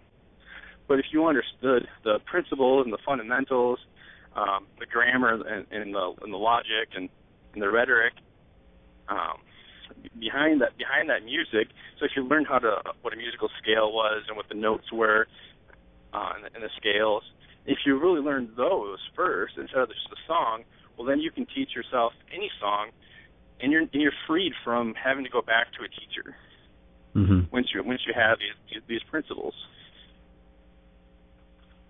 Yeah, definitely. Just learning to be self-sufficient in a lot of ways. I think that's a yeah, that's a really really important point you hit on there, Chad, for sure. Cool. Um, uh, Chad, was there anything else you just want to hit upon real quick? No, I just wanted to ramble on as, as much as possible in the shortest amount of time. Cool, man. Cool, man. For sure. Um, wh- one thing. oh, uh, oh, oh, actually, one go ahead. actually, Go ahead. one quick one one quick thing is I want to talk about John uh, Taylor Gatto, who won um, Teacher of the Year for New New York State and also New York City, and he actually quit on the um on the uh, was it, what was the paper? The uh, paper was the Wall Street Journal. On the op-ed page of the Wall Street Journal, he quit his job and said and said that he's quitting because he doesn't want to hurt kids anymore. Hmm. And, and the way he taught was very interesting because he got kids out of the classroom. He was always scared that some administrator would walk into one of his classrooms and find out that like three people were there. Um, because he, he encouraged all the students to, to get out. He had one he had one student who was an avid swimmer, so when he gave, came to uh, give her a project, um, he, he related the, the things that the teacher he related them to what her passions were. So she was able to to um, get outside the classroom and follow her passions to get to get these life lessons and, and so forth. So it's just a very very different way of Mhm. of teaching. And he won Yeah. Teacher of the Year for that, but people didn't realize that he was teaching very very different than the, than the classical classical way. Yeah. Yeah, that's all I got. Cool, man. One one thing that I did want to mention, uh, even just from my personal experience, and, and it actually segues uh, with what you were saying in terms of like teaching teaching children and just being aware of uh, you know the the current boxes that are sort of already there and whether or not we're we're prescribing to them as the teachers. Uh, those who have uh, have me on Facebook, they saw like they I put up this post. I'm just sharing this real quick, and I'm going to bring on Paul in a minute. But uh, I do uh, birthday parties for kids on weekends, and I dress up as superheroes for my different job uh, for the different job occupations. And one of the characters is Spider-Man. And long story short, what I was doing is that when I'm there, in addition to playing games with the kids, I try to teach them some sort of moral lesson, and I teach them oftentimes I'll teach them that you know uh, like the role of the superhero is not to be a bad guy to the bad guy, which means that you don't just fight a bad guy. That's not always the best opportunity. Because I said, you know, like maybe he's not a bad guy. Maybe he's just having a bad day. And in that sense, you know, like I told them, like the strongest superpower that we all have is the power of the heart, the power to have empathy, the power to ask people how they're feeling and to let them know that you care, and the power to listen. And then, you know, just show them that you're there and to let them know that you forgive them. And then then to just give them an ear to listen to and to l- give them an opportunity to like not be acting out of frustration and to meet their frustration with love instead of with more frustration. So it's interesting that the the the Hollywood version of superheroes is kind of not always setting the best example for children. So I mean that's where I'm trying to sort of plant those seeds uh, in some way or another, which I think uh, is really interesting because I know the the kids they they are receptive to it, and, and I had a good experience with that today. Um, let me bring on let me bring on Paul, and, and we got 10 minutes left. And uh, Paul, I, I apologize. Uh, we're literally just gonna have to keep you within about three minutes of airtime, and then we're going to segue this over to the button draw. Last reminder for the button draw, and also I think uh, then we're going to set it up, and then Michael's going to lead us with a closing meditation. So with that said, Chad, thank you, thank you for adding your voice to the conversation. And uh, again, reminder to everybody, we'll have the after party hangout, facebook.com/slash paradigm shift radio to find the link for the Google video hangout that we'll be doing after this episode concludes. So with that said, good to bring on our good putty, our good, good putty, our good buddy. Paul Boggie, who hasn't been on in a while. So Paul, going to bring you on to the air. Here we go. Hello, Paul. Hi, uh, good, good, good buddy or puddy. I, I, I answer to to either, either or. Paul, it's good to hear Hi you. guys. Hi Skull, how you doing? Doing good, man. So literally, again, the time being of the essence. Uh, right into this. Anything that you want to share? Maybe any practical techniques as to how to get outside that box. The, the the, the box is always changing. It's it's your view viewpoint. How, how do you get out of the box? Do do different things. Always think, you know, uh, for for example, you know, stuff that you think you know. Google, go and Google something and find out other stuff. Like like for I love throwing things at people. I love throwing stuff out there. Like for example, yoga. A lot of people love yoga. Now yoga, very very interesting. Did you know? Yoga is the basis to Shaolin Kung Fu because the the uh, the, the Shaolin warriors, the monks, were Buddhists, and the, uh, Bodhidharma, around about I think it was the 14th century, went to uh, went to China and went to the northern Shaolin temple first and said, "Guys, you are spiritually enlightened, but physically and mentally you are unfit." So he taught them yoga, and from the yo from from the yoga techniques he taught, they studied the animals and and learnt different fighting forms, but the fighting forms were for fitness. So that for Shaolin Kung Fu originally wasn't for a martial art as in to hurt people. It was about self development. So just you know seeing things in a different way. And when I went to uh, on the way to Tibet, I went to uh, India, and and the yogis I met were were far different to the original yoga I'd, as a young kid, I'd sort of seen and and in in the UK because I'm British, um, and and it gave me, it took me out of my box, and and that's the thing, always do something different. You know, what was that saying? Um, do something, do something every day that scares you. So, you know, be be different, be sporadic, go and look at things, and and if you think you know something go check, find out, you know, do something a different way. So I think Yeah. that's my time up. Nice, nice. I think that that definitely sort of sets us up nicely. So thank you, thank you, Paul, for for sharing that. And, and yes, everything everything is constantly changing. Change is the nature of reality. So to try and not change, you're going against the nature of reality in some way or another, and uh, will catch up with you. So one of the best ways is to just sort of ride that flow, accept vulnerability, to be realistic, have courage, and to know that you're supported by the universe, and uh, you will find that your box will continue to change shape, expand, and uh, evolve into all sorts of amazing, complex geometric patterns, each one more beautiful than the next. So, thank you again for everybody tuning in. We're going to get into the button draw, and then Michael's going to set us up for just a closing uh, four minute reflection slash meditation where we play some music in the background. And I'm just going to do the button draw. So, again, thank you everybody who submitted for the button draw. And of course, you can get buttons through the main ParadigmShiftCentral.com website. And of course, if you enjoy Paradigm Shift Radio and you want to be able to help support the evolution of this community and our ability to give more free buttons to people, then please consider becoming a monthly supporter for the project for only a couple dollars a month, and you can do that at paradigmshiftcentral.com slash donate. And another reminder for everybody in the chat, this is a time to post your profiles to let people know that they want to be that you want them to add you so that we can all get connected. We got 47 users in the live chat, so post your profiles now if you want people to add you, and I'll copy and post those profiles onto the Facebook page after. So this week's winner for the shift buttons are, with no time to delay, the universe has synchronistically chosen this week's winners as. No, wait, that's not right. You already got some. Uh, as uh, Matthew Parker. All right, so Matthew Parker is this week's winner for the shift buttons. So I'm going to be sending a message to him, and of course, you can tune in again next week for more chances to get those shift buttons. So, with that said, reminder join us again for the after party hangout and uh, thank you paul thank you brad thank you michael thank you chad thank you noah thank you to everybody listening you guys are amazing continue to be the shift where you are and uh, think about starting up a paradigm shift community and it will uh, literally change your lives and uh, change the lives of the people around you so uh, paul and uh, brad i'm going to have to mute you guys so thank you guys Yep. and uh, I'm uh, out. I'll just, Thank you. Thanks, Brad. See you We'll see you in the hangout, man. Cheers, guys. And uh, Michael, I'm gonna keep you on. And uh, literally, I got a audio for this background music, and I'm gonna start playing this now. And then I'm just gonna give you some opportunity to just get us to connect with our breath. So, just passing the talking stick over to you, Michael. Thank you for doing this. And uh, everybody just wants to relax and take a moment to reflect and embody what it is that we are here to be.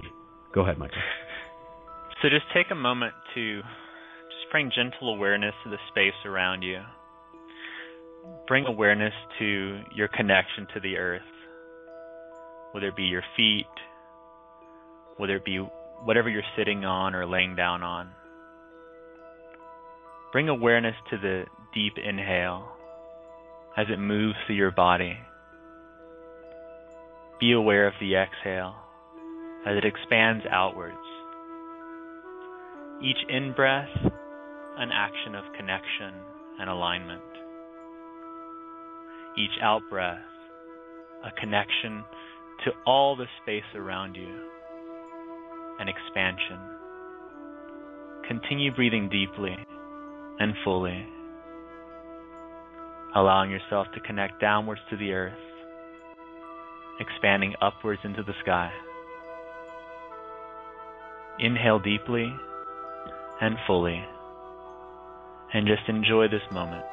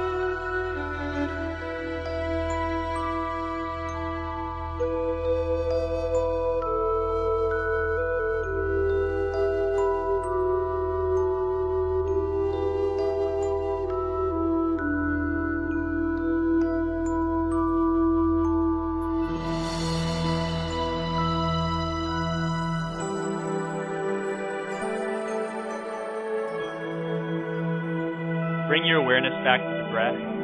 Bring your awareness back to the space around you. Feeling connected through every inhalation and exhalation to everything that exists. Everything exists within you and outside of you. Continue breathing, sharing this moment not only with yourself, but with all of existence. And as always, remember you are loved, you are beautiful, and you're divine.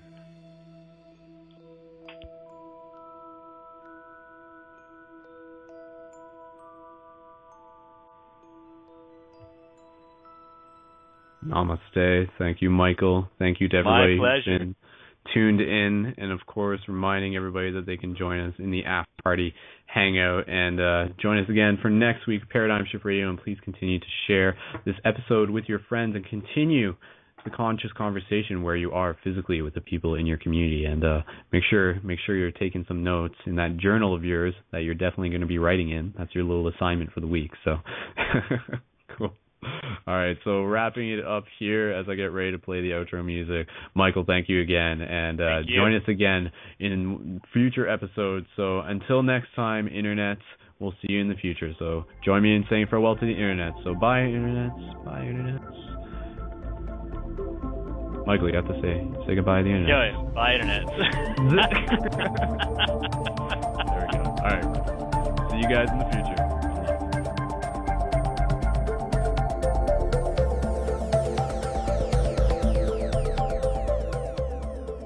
Thank you for listening to another episode of Paradigm Shift Radio. If you would like to connect with people where you are and continue the conversations further, then check out paradigmshiftcentral.com slash buttons to order your supply of shift buttons to share with people to help invite them to this global project while also helping make new friends and building local community where you are.